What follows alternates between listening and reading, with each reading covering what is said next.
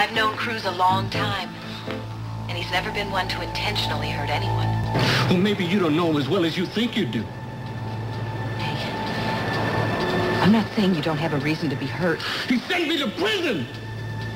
Ten years! That's all my wife could understand. She used to come and visit me at first. But then she got more and more depressed.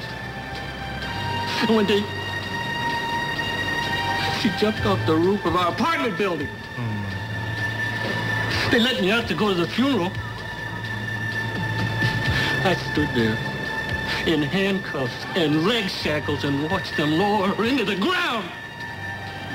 You killed her. And now, it's your turn.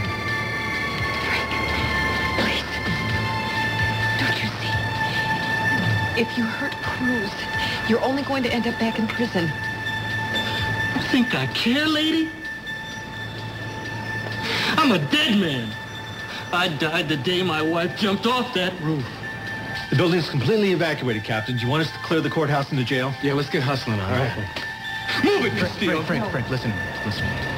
We, Move! no, we don't. We don't have to do this. You're about to take your last walk.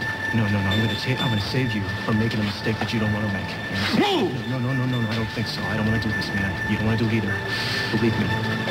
You move! No, I won't. But then I'll kill her.